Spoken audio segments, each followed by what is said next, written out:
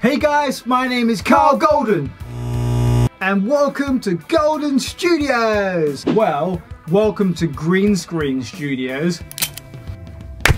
So previously I did a top 5 songs that will get you laid on guitar. You can check that out just here, somewhere here. now it's time for the top 10 bass lines to get you laid. All suggested by you.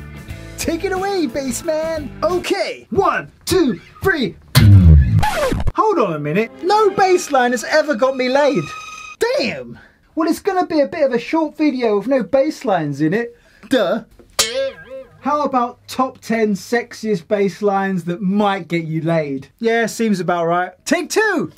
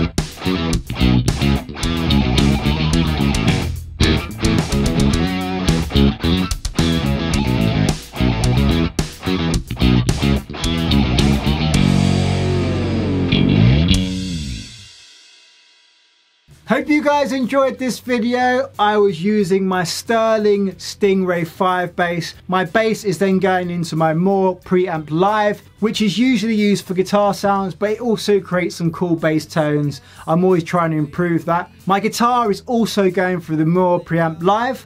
Then for my Mooer preamp live, I'm going into my Focusrite Clarett 8 Pre, then into my DAW, which is Logic Pro X. So technically this is not the top 10 bass lines to get you laid, but I did ask you guys what you thought were the sexiest bass lines. All these suggestions come from you guys. So make sure you follow me on my Instagram, my Facebook, my Twitter if you haven't already, because that's where I randomly ask you guys for some uh, song suggestions and riff suggestions and things. Make sure you bass players and guitarists check out my other video top 10 bass lines that guitarists hate. You can see that video by clicking the link here. Don't take that one too seriously as well. Basically, it's about the bass player having all the limelight instead of the guitarist who usually always has the limelight. If you'd like to purchase my t-shirt, which is very cool, I'll put a link in the description.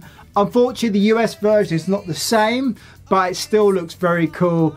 And recommended to all bass players. Enough about the bass, let's talk about the guitar I used in this video. So if you guys are following me on Instagram at Karl Golden, you would see that I recently purchased a Music Man Cutlass, which is absolutely beautiful. Let me put this bass down.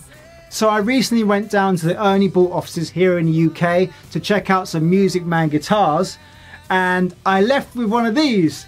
My wife was not too happy. You can check out this video where I went down there and you can see her reaction is quite funny. She's accepted it now, but I haven't bought a new guitar for myself in a long time and I've really wanted a Music Man Cutlass for a long time. Check out this roasted neck.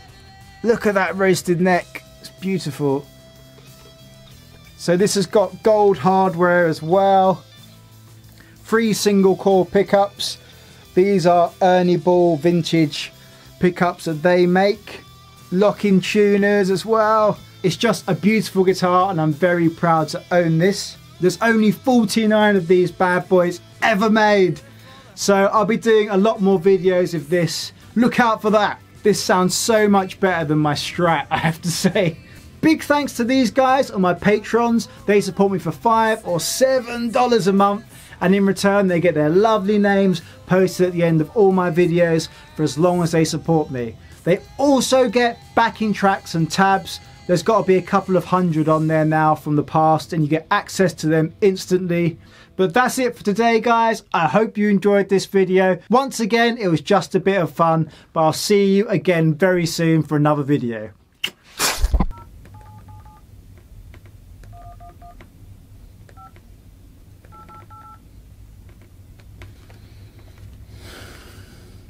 Hey, is that the BEA? Yes, the bass Escort Agency, helping us get laid. Yeah, yeah, I know, I know the spiel. Thank you. I mean, I mean, I've never wronged you before.